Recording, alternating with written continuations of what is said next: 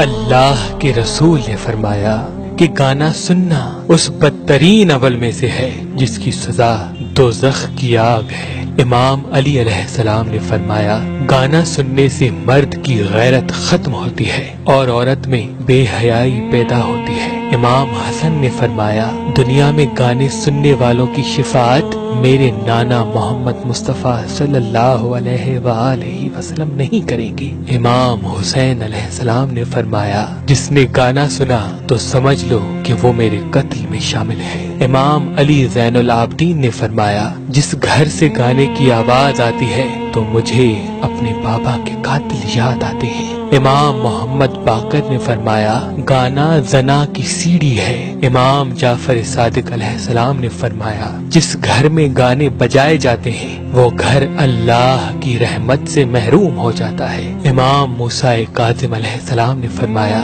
مجھے زندان میں سب سے زیادہ تکلیف ساتھ کے گھر سے آنے والی گانوں کی آواز سے ہوتی تھی۔ امام علی رضا نے فرمایا، گانے سننے والا مومن کہلانے کا حق نہیں رکھتا۔ امام محمد تقی نے فرمایا، گانے سننے سے انسان کی آخرت تباہ ہو جاتی ہے اور اولاد نافرمان ہو جاتی ہے۔ امام علی نقی علیہ السلام نے فرمایا، جس دل میں اہل بیت کی محبت ہو وہ کبھی گانے نہیں سنتے۔ امام حسن عسکری علیہ السلام نے فرمایا، گانا سننا انسان کو شہوت کی طرف لے کے جاتا ہے۔ اور امام مہدی علیہ السلام نے فرمایا، جو گانے سن کے میرے ظہور کی دعا مانگتا ہے، تو اسے چاہیے کہ میرے ظہور کی دعا نہ مانگے، کیونکہ گانے سننے والا میرے سپاہیوں میں نہیں ہوگا۔ ان کی مثال ایسے ہے جیسے کوفے والوں نے خط لکھ کے میرے جد حسین کو بلایا۔